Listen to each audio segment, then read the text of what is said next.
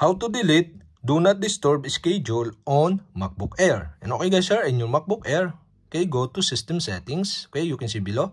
And system settings in left side, go to focus. In focus, you can see the do not disturb. Okay, click this. And do not disturb, you can see the schedule here. So, for my example, I delete this one of this schedule. And you'll have to do is click this. And the pop-up bar show, now you can delete by clicking the delete schedule button here on lower left side of this pop-up. And another pop-up, okay, do you want to delete this schedule? And okay guys, you'll have to do is click the delete schedule button to delete the do not disturb schedule on your MacBook Air. And that's it.